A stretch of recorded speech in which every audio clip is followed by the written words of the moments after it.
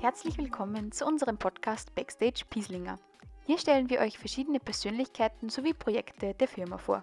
Ich habe heute einen weiteren Gast bei mir und zwar einen Philipp Rohrer. Hallo Philipp. Hallo, grüß Maria. Schön, dass du da bist. Philipp ist ähm, Supply Chain Manager bei Pieslinger und wir werden heute wieder ein bisschen über den Job natürlich reden, über ein bisschen was Privates und ja, freuen Sie, dass wir die kennenlernen können. Ja, danke für die Einladung. Mich auch. Kannst du dir bitte einmal kurz vorstellen, ähm, wer du bist, woher du kommst und was deine Hobbys sind? Ja, ich bin der Philipp Rohrer. Ich komme aus dem wunderschönen St. Pankraz. Das ist in der Björn-Brill-Region, also auch im Nationalpark daheim. Äh, meine Hobbys sind Laufen, Sporteln, Fußball. Ich bin leidenschaftlicher Fußballtrainer und ja, arbeite halt sehr gerne. Natürlich. Voll super. Kannst du uns einmal kurz erklären, was ist eigentlich ein Supply Chain Manager? Also was ist eigentlich der Aufgabe in der Firma? Ich sage, in der Literatur findet man extrem viele Begriffe. Das ist ein extrem neumoderner Begriff oder ein neumodernes Thema. Ich werde es ganz einfach abbrechen. In Wahrheit heißt es einfach entlang der ganzen Lieferkette schauen, dass man das Optimum außerhält, dass man Synergien schafft, dass man den Informationsfluss optimiert, dass man den Warenfluss optimiert, dass man natürlich den Geldfluss oder den Finanzfluss optimiert. Und da schaue ich, dass man eingreift. Wir, wir bei Bislinger haben es jetzt im September begonnen einzuführen, eine Rolle Supply Chain Management.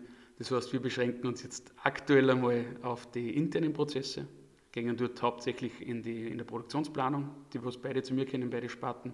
Die ganze Warenübernahme, die Logistik gehört zu mir, auch die Versandlogistik ist da dabei. Das heißt, wir beschäftigen uns jetzt hauptsächlich damit, wie kommt die Ware zu uns in die Firma, wie produzieren wir es möglichst optimal, wie können wir Synergien in die einzelnen Abteilungen nutzen und wie bringen wir es dann möglichst optimal für uns oder einem Optimum angenähert zum Kunden. Ja. Cool, wow, danke schön. Das war sehr verständlich. Also ich kenne mich jetzt ein bisschen besser aus als vorher. Ich, ich, ich hoffe es, aber ihr könnt jetzt auch halbe Seiten Definition vorlesen, weil es macht keinen Sinn. Ja, voll. Auf Wikipedia hat es auch nicht so viel Sinn gemacht, wie ich es durchgelesen habe. Super, danke schön. Ja, und dann beschreib uns doch bitte einmal kurz deinen beruflichen Werdegang bis jetzt, mit was du gestartet und. Wie viel Zeit hast du? Wir haben ganz viel Zeit. okay, nein, mein beruflicher Werdegang ist eigentlich von den Stellen her nicht recht ausschweifend oder nicht recht lang, aber ich habe trotzdem schon einige Stellen hinter mir. Nein, angefangen hat, ich fange vielleicht trotzdem bei der Schulbildung an.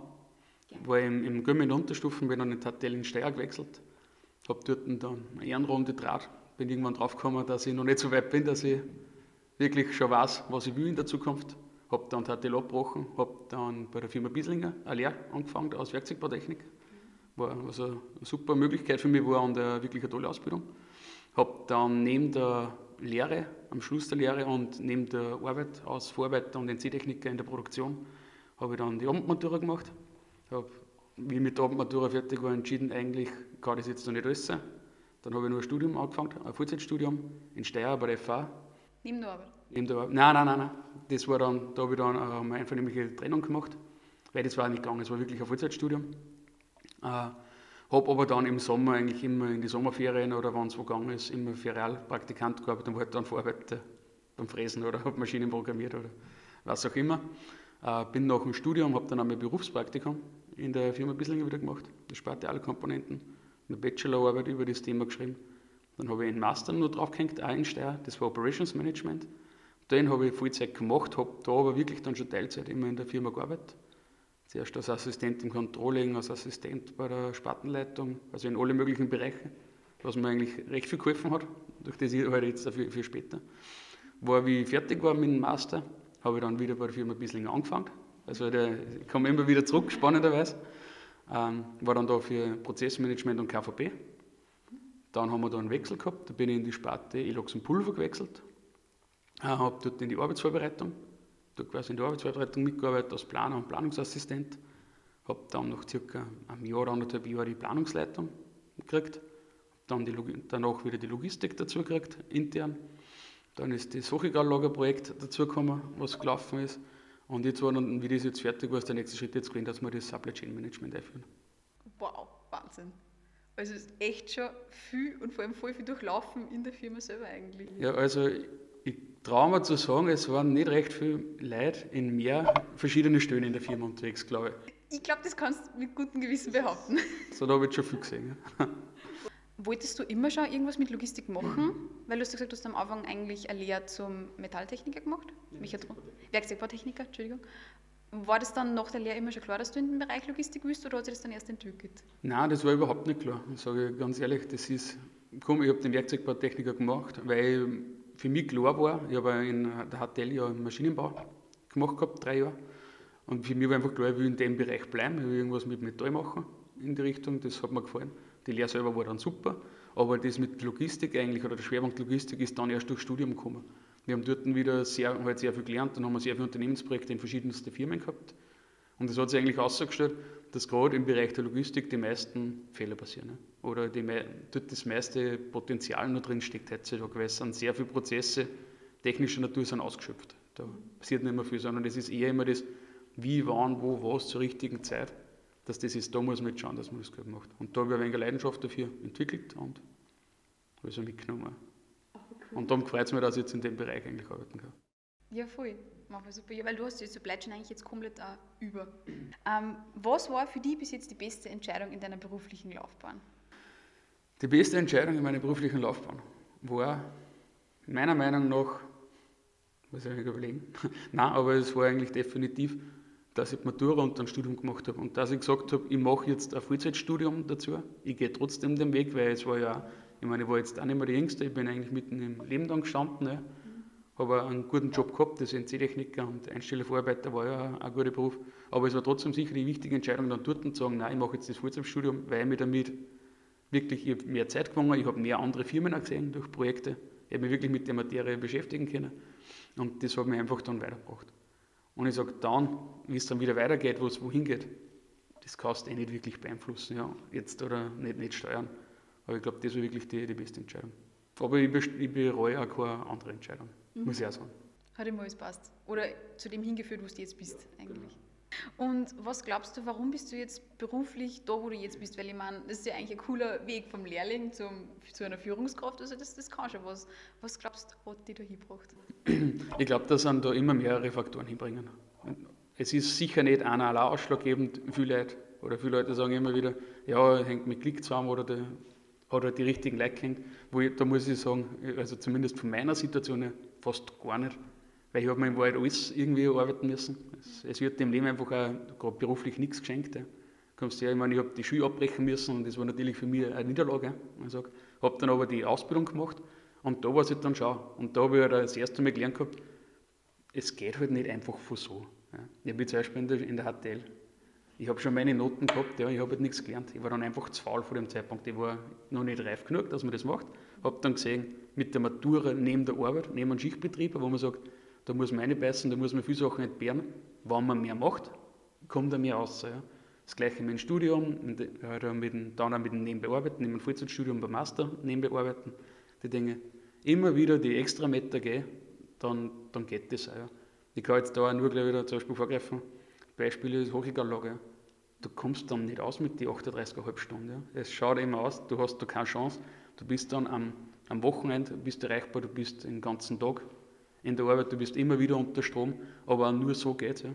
Du musst schauen, dass du Dinge fertig machst, dass du, wenn du was anfängst, dass du es fertig machst und dass du wirklich, wie soll ich sagen, äh, damit identifizieren kannst und dass du einsteigen kannst. Ja. Dass das macht, das muss ein bisschen eine Leidenschaft sein.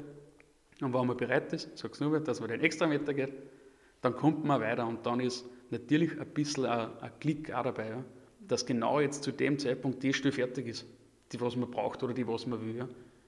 Aber alles andere hat man eigentlich selber in der Hand.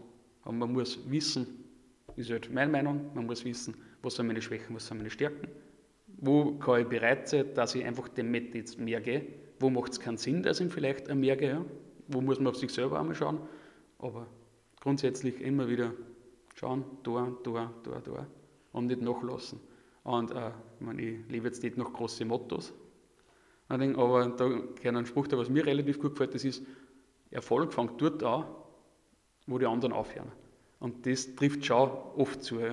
Und ja, so eine Einstellungsgeschichte dazu sagen.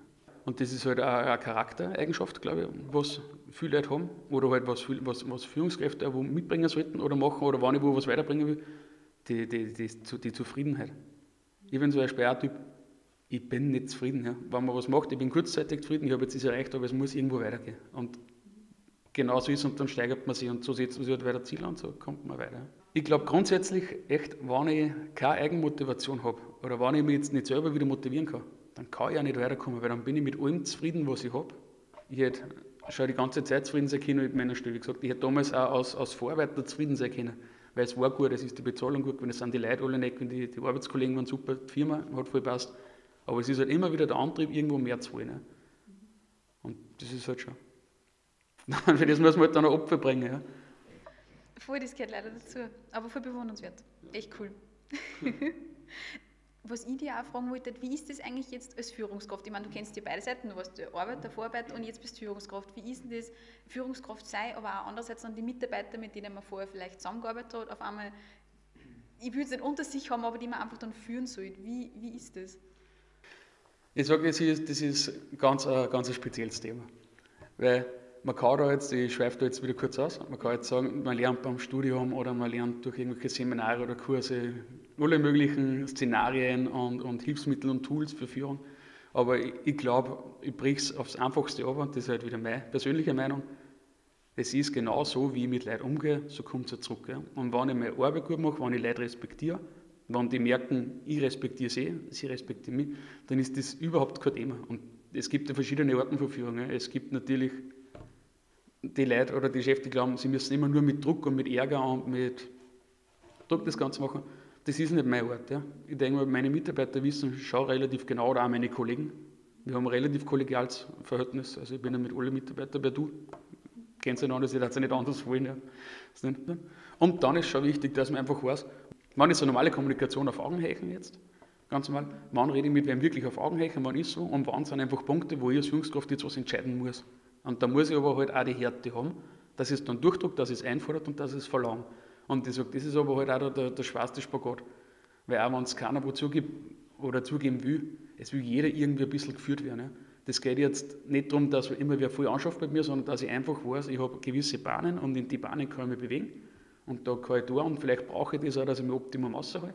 Und ich glaube, als Führungskraft ist das Wichtigste, dass man genau die Bahn irgendwie erkennt und das bei jedem Mitarbeiter genauso feststellt. Mir gelingt das auch nicht immer, ist ganz klar. Ja. Und jeder macht seine Fehler und gerade am Anfang ist das immer schwierig.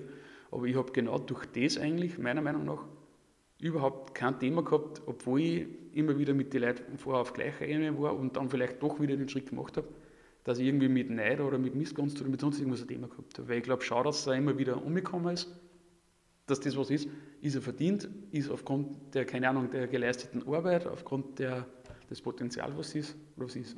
Und das Verhältnis selber, ich gesagt, schau, ich schaue, dass ich meine Mitarbeiter so weit es geht oder so gut es geht, auch wirklich auch noch einen direkten Kontakt pflege. Mhm. Ich habe jetzt in den letzten Jahren immer wieder einen Spiegel vorgehalten gekriegt, dass ich es nicht immer schaffe, dass man nicht immer wieder zu den einzelnen Leuten hingehen kann, dass man gewisse Arbeitsplätze dann schon wieder vernachlässigt. Aber das gehört halt auch für, das ist eine leichte Niederlage, das muss man mit einstecken. Ja.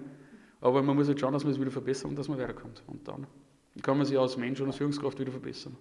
Voll. Ja, und vor allem, es ist ja auch nicht jeder Mitarbeiter gleich, du kannst ja nicht mit jedem gleich umgehen. Nein, es ist spannend, weil es, es tickt wirklich jeder anders und ich sehe das nicht nur in der Arbeit, ich habe das im Fußball auch, als Fußballtrainer. Es sind so viele verschiedene Charaktere und du musst immer schauen, was ist eigentlich dem seine Motivation was hilft denn, was kann der, was kann er nicht, in welchen Bedingungen kannst du, wie kannst du auch ausdrücken, ja? wie bringst du das um, aber du kannst ja nicht mit jedem das gleiche Gespräch führen, auf der gleiche Art. Also das ist echt, das ist fordernd, und, aber auch einfach spannend. Und siehst schon, es extreme persönliche Weiterentwicklung. Und ich kann nur jedem sagen, weil wenn, wenn Leute glauben, ja, führen, halt, äh, eine Führungsposition ist halt schön anziehen vielleicht und sitzen Nein, das ist einfach schon jede Menge Arbeit. Es ist ganz andere Arbeit, aber es ist Arbeit. Voll. Vielleicht eine Arbeit, die nicht jeder gleich sieht, aber es ist trotzdem eine Arbeit, die einfach dazugehört. Mm, was war denn bis jetzt für dich die größte Herausforderung in deiner Laufbahn, in deiner Karriere? Die, die größte Herausforderung in meiner Karriere. das klingt gut. Ähm, Gibt es auch verschiedene. Gibt es immer wieder. Also das erste, die erste wirklich prägnante Herausforderung für mich war, da die Matura nebenbei zu machen, sich das selber zu finanzieren, das neben der Schicht, die kannst du nur immer wieder wiederholen, dann traben wir um, dann bist du mir, dann gehst du trotzdem wieder in die Schicht, du musst in der Früh wieder auf oder du hast nach einer Geschichte, du musst Kollegen wieder fragen, ob sie mit der Taschen können. Das war Wahnsinn. Du musst lernen, dann musst du die Matura legen. Das ist wirklich, das war herausfordernd, ja, am Anfang. Sagt, das war wirklich, das war nicht ohne. Ja. Hat aber dann passt. Und das nächste, wo ich dann sage, was dann wieder Herausforderung war, war ein Sochigal-Lagerprojekt.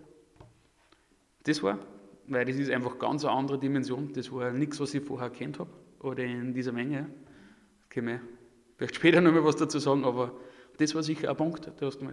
Und dann jetzt der Spagat zwischen, oder die, die kleinen Steps zwischen immer nur mehr Personalführung dazu haben, weil das hat sich eigentlich innerhalb von, einem Jahr oder von zwei Jahren hat sie sich von einer Person jetzt auf knappe 46 oder 50 hat sie sich gesteigert. Ja. Aus Mischung aber mit Angestellten und Arbeiter, also äh, ich sage so wieder ganz andere Art der, der Tätigkeiten oder der Charaktere. Was ist? Und jetzt darin gipfelnd im Supply Chain Management, die Einführung. Also das ist auch eine Riesenherausforderung. Einfach durch den Grund, dass keiner kennt. Oder weil man halt sagt, das war da und das haben wir eh gemacht. Nur das ist jetzt ein spannendes Thema. Voll. Also immer Schlag auf Schlag eigentlich. Es geht immer weiter. Genau, und meine nächste Frage ging eher ein bisschen auf die Projekte ein. Ich würde gerne am Anfang mal über das Hochregallager reden. Mhm. Ähm, wie war das so? Wie gesagt, es war ja auch selber für die Firma ja ein Mega-Projekt. Ich meine, erstens einmal steht da ein großes Ding da, das jeder sehen kann jetzt vor der Weiten. Warst du da Projektleiter oder wie war das? Nein, und das wird auch oft falsch gesehen. Das will ich nämlich erklären, richtig schön. Projektleiter von dem ganzen Thema war der Ernst Weigel. Ja.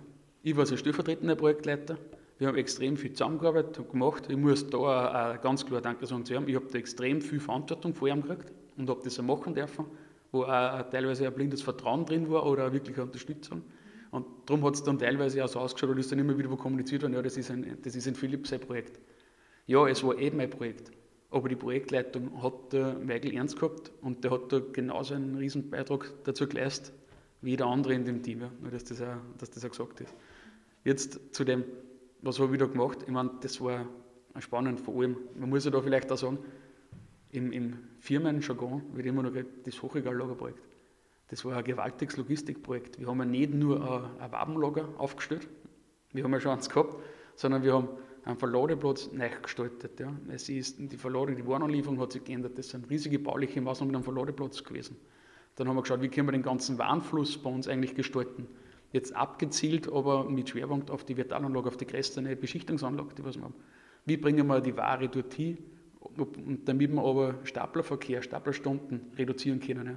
die was einfach wieder einhergegangen sind. Ich meine, jeder, der was früher bei uns in der Firma ein bisschen unterwegs war, gewusst, du hast ja keinen Schritt gehen können, ohne dass ein Stapler um eine Ecken umgeschossen ist. Das immer auf engstem Raum, immer mit, mit Vollbeladung. Und dann gesagt, das war ein riesen Sicherheitsrisiko und natürlich auch ein Gesundheitsrisiko. Und auch ein Kostenthema, natürlich auch für die Geräte, die was man immer wieder braucht. Ja. Und das war auch dabei. Ich sage, dort die Gedanken zu machen. Wir haben Transportschicken gebaut, wir haben ein Lager gebaut, wir haben das bestehende Lager, was vorhanden war, haben wir eigentlich Operationen am offenen Herzen gemacht. Wir haben es eigentlich mitten an der Saison quasi das RBG rausnehmen müssen und haben es ersetzen müssen, also auf den nächsten Stand kommen. Also das war, ich sage, das ist mehr als wie nur ein Lager zu bauen, weil das wird immer ein bisschen vernachlässigt, aber das war immer spannend. Meine Aufgaben selber waren, äh, von Aufnahmeschau von, von der Lieferantenakquise oder von der Lieferantenfindung, vom Anfragen, von diesen Sachen. Natürlich dann die Vergabe, die Angebotsverhandlungen, alles mit, mit dem Einkauf und auch mit der Projektleitung, mit allen zusammen. Da spielen ja, wie gesagt, viel mehr Leute mit als wie ein, zwei, was jeder seinen Job machen muss. Dann hin zur ganzen Prozessgestaltung. Das war auch viel von mir. Pflichtenhefterstellung, die Lastenhefterstellung, dann die Umsetzung dazu. Wir haben ja da äh, unser Partner hat ja quasi auch noch nie ein, ein Projekt in dieser Dimension gemacht. Ja. Die sind extrem spezialisiert auf Hochregallager, das haben sie gemacht, sie sind extrem auf lauter Einzellösungen, aber sie haben das ja auch nicht gehabt mit so Vertikaleinlagerstationen, mit Transportstrecken, dann unsere Logiken dahinter. Wir sind ja eine alte gesessene Firma und haben gerade in der Logistik, gerade in der Warenbereitstellung extrem viel Know-how aufgebaut gehabt. Ja. Wie bringe ich was möglichst schnell aus dem Lager aus und bringe es zur Produktion hin, dass das kommt. Und das muss ich dann aber erst abbilden in einer neuen Software mit Leuten die was von der Materie eigentlich wenig Ahnung haben. Ja. Wir sind ja da eine Firma umgefahren und da muss ich wirklich auch unsere, unsere Firma loben, von der ganzen äh, Entwicklung her. Wir haben uns da einige äh, Konkurrenten, kann man sagen, oder aus Deutschland äh, in andere Bereiche angeschaut, was nicht direkt in unserem, in unserem Konkurrenten, Konkurrentenklientel sind, ja, angeschaut, wo wir eine davon haben. Und es arbeitet ja dort fast keiner so effizient wie wir. Das, das glaubt man, das glauben die Mitarbeiter bei uns wieder nicht, aber das, das ist wir sind wirklich sehr stark ausoptimiert, wenn man das sieht. Wir können uns auch überall verbessern, wir müssen überall noch weiterkommen. Aber da haben wir in gewissen Bereichen wirklich schon, sind wir wirklich schon auf einem sehr guten Niveau. Ja. Dann, was nur das Thema war, den ganzen Bau begleiten, Projektpläne machen, Zeitpläne, das intern steuern, mit dem externen Bauplaner, was wir gehabt haben, das Ganze abstimmen, weil den haben wir natürlich gebraucht zur Abstimmung, weil ich hätte jetzt nicht sagen können, wo wird der Schot austauscht, was ist da, was ist da der Abbau, wann wird Bodenplatten gemacht, sondern wir aber dann einfach die internen Gewerke auch koordinieren, zu machen. An der Stelle muss ich aber auch ganz stark auch bei uns in technischen Dienst ausheben, was bei uns da, der, gerade in der Rolle waren es da der Ehrenfelder Dominik und der Miss Gerald, die was auch extrem viel mitgearbeitet haben, was auch hinter die Kulissen immer wieder extrem viel gemacht haben wenn wieder schnell was war zum Begleiten von der Technik, zum Kabel hinziehen, wenn wir schnell eine Lösung wieder braucht haben. Ich meine, das ist, das ist ja faszinierend. Du stehst dort und der Vorne kommst drauf, die Öffnung ist klar. Für was jetzt bringt der Bauteil nicht ein oder der Kran kann das nicht heben. Also, und ich sage, da muss man dann schnell reagieren und du brauchst immer ein gutes Team. Genau das Gleiche auch bei der IT mit dem Niederländer Stefan. Also, wie man, was der mitgeholfen hat, Stefan mit seinem Know-how auch bei der ganzen äh, IT-Prozessgestaltung, bei der Schnittstellengestaltung. Also das ist echt puh. Wow, war schön. Wie lange hat das dann Ganze gedauert? Also auch mit der Vorbereitung, Vorlaufzeit? Mit der Vorbereitung, dass ich jetzt nicht liege, aber ich glaube, wir haben 2016 haben wir angefangen. Wirklich? Endgültig in Betrieb gegangen, der letzte Teil ist dann letztes Jahr im Jänner. Jetzt sind wir mal dort und jetzt gibt es eh das schöne Video, wo man durchfährt. Genau, voll. So, dass das Ganze so rennt und dass man wirklich sagen kann, wir sind jetzt in der Produktion so weit, dass wir im Großteil mit den Anlagen wirklich effizient arbeiten. Wir haben nur jetzt, jetzt kommt die nächsten Potenzial, wo man sagt, wie können wir jetzt optimieren, jetzt kehren die Leute wieder mehr dazugenommen, wieder ins Boot, ganz viele Arbeiter, wo können wir jetzt wirklich wieder Punkte rausnehmen, wo wir uns verbessern können, was können wir für sie noch umgestalten, aber jetzt sage ich zumindest mal mit ruhigem Gewissen, jetzt, jetzt rennt es einmal. Ja. Ja, voll, es läuft geschmeidig, wie man so schön Ich glaube, das unterschätzen immer viele Leute, wie viel Aufwand das so ein Riesenprojekt ist. Also ich hätte nicht damit gerechnet, dass das fast vier Jahre dauert, so insgesamt? Weil ich meine, gestanden ist ja schnell, innerhalb von einem Jahr oder so, glaube ich. Ja, und ich sage, ich meine, das klingt auch vermessen. Aber wenn man jetzt, wo nur ein Lager hinstellt, wenn ich jetzt genau sage, ich reduziere es auf das, wie es immer heißt, das Hochregallagerprojekt, mhm. ja, das ist relativ schnell gemacht. Du hast den Bauplaner, du brauchst dir die Bewilligungen, das ist klar, mhm. aber das sind ja Standardprodukte zum Teil. Das, was so lange ist, sind einfach die unzähligen Termine und Abstimmungen mit den ganzen verschiedenen Gewerken, mit den Softwarefirmen, mit wenn er wirklich sagt, jetzt kommt man dorthin, wo man ist. Und dann natürlich eine internen Abstimmungen. Es hat ja nicht jeder die gleiche Meinung dazu, wenn ich was mache. Das Projekt selber, ich meine, das muss man auch sagen, das war, soweit ich weiß, auch das größte in der Firmengeschichte, von der Investitionssumme her. Das war jetzt nichts, wo man einfach sagt, das machen wir halt so. Na, echt cool. Und ich meine, Supply Chain Management haben wir vorher schon geredet, das ist ja auch mit dir eingeführt worden, erst seit ein paar Monaten sogar. Ist ja eher ein operatives Projekt, sage ich jetzt einmal, so ein Projekt, das man nicht so greifen kann wie ein Hochregallager. Wie, wie war denn das so? Was war da deine Aufgabe? Ja, das ist auch, ich, mein, ich kann nicht sagen, was war die Aufgabe, weil es ist mir Aufgabe und es wird mich noch lange begleiten, solange ich halt das Vertrauen natürlich habe, dass es macht. Das darf man auch nicht vergessen in der Wirtschaft. Nein, aber das ist ganz anders, ganz anderes Thema. Ja. Das ist ja, wenn ich ein Bauprojekt habe oder wenn ich ein Anlagenumbau oder ein Optimierungsziel habe, ja, du, du setzt den Plan, du stimmst dich mit den Leuten an, du setzt die Maßnahmen, du machst es durch, du hast den Zeitplan, wird runtergearbeitet, jeder sieht es.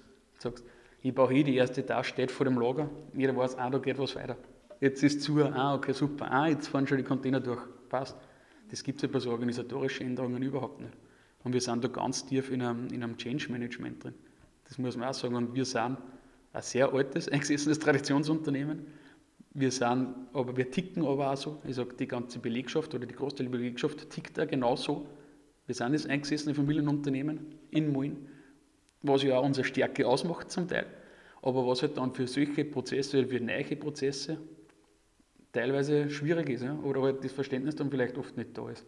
Man muss da aber ganz klar sagen, ich erfinde das nicht neu das hat auch immer so den Eindruck, jetzt, jetzt macht der Frau Philipp macht jetzt das Supply Chain Management in der Firma. Wir haben ja einen Versand, wir haben eine interne Logistik, wir haben die ganzen Rädchen, die wir sowas an, wie, ein Einkauf, die was ja einen guten Job machen. Wir haben den Versand, wir haben die Dame, wir haben die Sachbearbeitung, wir haben die Produktionsplanung. Das hat es ja natürlich schon gegeben. Nur was halt bei uns ist, und das war die, das, das Hauptproblem, glaube ich, und darum wird es auch eingeführt an der Firma, ist, wir sind halt auch historisch bedingt sehr auf zwei Geschäftsfelder. Ich reduziere jetzt einmal auf die Hauptgeschäftsfelder, was bei uns die, die mechanische Fertigung ist, also die Alukomponenten und was die Oberfläche ist. Ja. Auf das sind wir halt auch historisch so hingewachsen. Und man muss jetzt schauen, wie können wir das Ganze einfach auch Synergien schaffen? Wie schaffen wir es, dass die Planung besser miteinander redet? Dass wir die Anlagen intern einfach besser miteinander verwenden. Ja? Dass einfach die Kommunikationsflüsse besser werden. Ja? Die, was länger in der Firma sind oder die, was mit uns zu haben, wissen, wir haben aktuell noch zwei ERP-Systeme. Zum Beispiel. Das sind so Dinge, das ist alles schwer, schwer miteinander zu kommunizieren. Und genau für das wird jetzt einmal das, das SCM eingeführt. Und meine Aufgabe ist ja hauptsächlich jetzt mal zu schauen, was kann ich, wo kann ich Synergien schaffen, wo können wir Abläufe verbessern, wie können wir vielleicht auch, das waren jetzt die ersten Schritte, was ich gemacht habe mit meinem Team. Würde ich meine, du hast mit dem Völzke Ralf hast du eh schon geredet, war der, der erste Podcast. Ja. Das ist genauso ein wichtiger Baustein auch dazu, wo ich sage, der, was da extrem viel mitwirkt, der, was da extrem viel mitarbeitet, der, was man Aufgabe gibt, wo man dann sagt, okay, schauen wir, wie können wir Vertretungsregelungen jetzt zum Beispiel vom Lager, Alukomponenten, was vorher war, jetzt besser lösen? Können wir das nicht mit der Warenübernahme, wie es in der EP heißt, in der Eloxal und Pulver heißt, können wir das nicht verbinden? Können wir unsere Staplerflotte nicht irgendwie kombinieren? Wo können wir unsere Wareneingänge, das ist jetzt ein Projekt, das jetzt für die Stadt, wie können wir das für die gesamte Firma einmal einheitlich machen, dass wir nicht an fünf verschiedene Stellen anliefern und macht also, das sind eher so, so Kleinigkeiten, sage ich mal, die was aber dann wieder eine große Auswirkung haben können. Ne? Voll, und vor allem halt durch eine Umstellung sind und ja auch wichtig sind. Ich meine, es ist voll spannend, wenn man sich über sowas Gedanken machen kann. Also das ist eigentlich echt cool. Jetzt haben wir sehr viel über den Job geredet. Jetzt wird es mal Zeit, dass wir dich ein bisschen besser kennenlernen. und zwar die erste Frage ist gleich mal, was wolltest denn du als Kind werden, Philipp? Es kommt darauf an, was du das jetzt meinst. Also ich sage, ich wollte als Kind wollte erfolgreich und glücklich werden. Ne? Nein, Spaß, aber das ist schon, ich muss ganz sagen, da bin ich vielleicht nicht im richtigen Klischee. Ich, hab, ich kann mich echt nicht wenn ich jetzt zurückdenke, ich könnte nicht sagen, ich wollte unbedingt Astronaut werden oder Pilot. Wirklich? Färbermann, Detektiv? Nein, hab, nein, habe ich echt nicht. Man hat halt seine Sachen gehabt, ja, oder man hat im Fernsehen was gesehen und sich gedacht, ah, das ist cool, oder man hat das kennt, oder man weiß, der Papa, mein Vater war zum Beispiel ein Radladerfahrer und Fahrer beim Benecker, wäre Landmaschinenbauer, gelernter. War auch ein cooler Job gewesen. Also gibt es ja als Kind nichts Cooles als wie so ein riesiges Baufahrzeug wo man fährt. Und dann darf man vielleicht mal mitfahren und schauen. Also das ist ja, ja. Aber ich kann jetzt echt nicht sagen, ich hätte das oder das werden wollen. Ich später dann in meinem Kind, im jugendlichen Alter, habe ich dann gewusst, ja, mir gedacht, schau, eher vielleicht was Theoretisches mehr als was Praktisches, war halt der erste Gedanke. Dann habe ich gesehen, theoretisch war ich vielleicht doch noch nicht so weit. das war, aber dann hat es passt, ne? Aber ich habe das nicht gehabt. Ja. Für mich war dann, schau, das muss ich schon sagen, relativ klar mit dem Schritt quasi dann, dass ich den Bildungsweg weitergehe dass ich irgendwann in eine Führungsrolle komme. Ja. Dass das das ist, was ich will und das habe ich aber ja nicht nur beruflich gesehen, sondern das habe ich auch einfach so gesehen. Ich, ich habe immer gern Fußball gespielt, ich immer gern was da. Aber wie man seine Schwächen und Stärken kennen muss, weiß man irgendwann, wo der Leistungszenit erreicht ist und wie man wo was tut. Und mir hat das früher immer schon Mut aufgeregt, wenn ich das Gefühl gehabt habe, der Trainer ist einfach keine Führungskraft. Ja. Also jetzt nicht als Führungskraft, aber die, die, das ist nicht schlüssig, was der macht. Oder da hat man ganz andere Ideen oder wir sollten was anderes machen. Und dann bin ich dann relativ früh eigentlich, habe ich meine aktive Fußballkarriere sein lassen. Ich glaube, das war mit 22 oder mit 23. Und habe dann gesagt, nein, ich ich wechsle da schon ins Trainergeschäft. Ja, voll cool.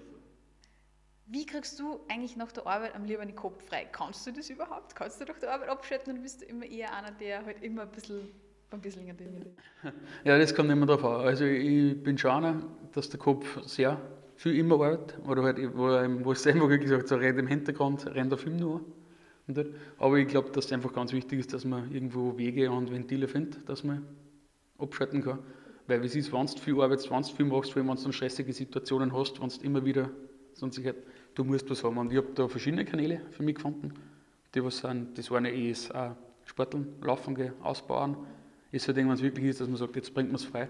Währenddessen arbeitet der Kopf trotzdem, naja, mhm das ist eh klar. Aber andere ist zum Beispiel auch gerade das Fußballthema, also Fußballtraining, weil wenn du gezwungen bist, dich mit anderen Dingen zu beschäftigen, und das ist ja, gerade in einem Kampfmannschaftsbereich ist das so, du überlegst dir Taktiken, du schaust, bist beim Förder, du musst Trainingspläne stellen, Vorbereitungen, Nachbereitungen, solche Dinge zu machen. Du hast dann nicht die Zeit, geistig dich nur auf das eine Thema zu fokussieren. Das heißt, da blendet es einmal um, dass du gern, wenn Fußball gerade nicht ist, oder dann du ja gern Fern, äh, Fernsehen, immer. ist, ein, ist ein Laster von mir, ist, glaube ich, die größte Schwäche, ja. das ist gern tue. Und äh, lesen. Ja. Einfach was lesen und sich auf was anderes zu, äh, zu konzentrieren. Andere Themen. Also ich lese ganz wenig Managementbücher oder solche Dinge, mhm. sondern eher wieder zum Beispiel von Stephen Hawking irgendwelche Bücher über, über Physik oder keine Ahnung, solche historische Dinge gern, über Tempelritter und was weiß ich, also wirklich einfach dann wieder ganz andere Dinge.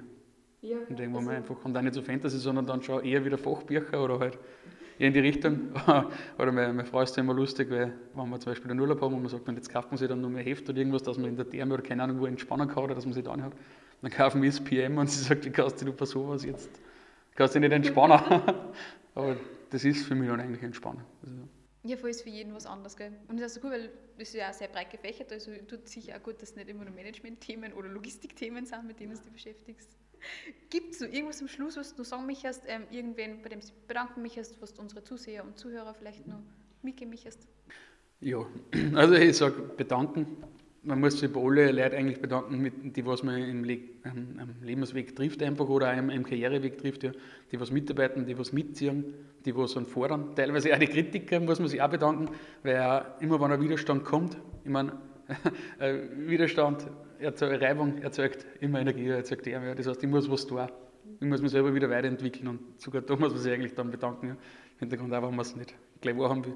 Aber hauptsächlich eh bei, bei allen Mitarbeitern, die was ich habe, und bei allen Kollegen, aber auch bei allen anderen Führungskräften. Es, es geht nicht allein. So eine Firma rennt nicht, weil einer wichtig ist.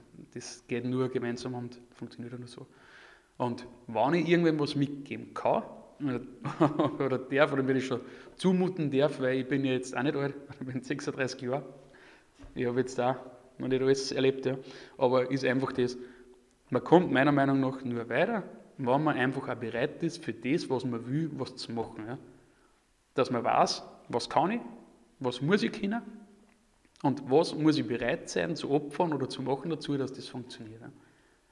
Und wenn ich dann bereit bin, wieder den einen extra Meter zu gehen, dann dann wird es wahrscheinlich auch so eintreten, dass es passt. Ja.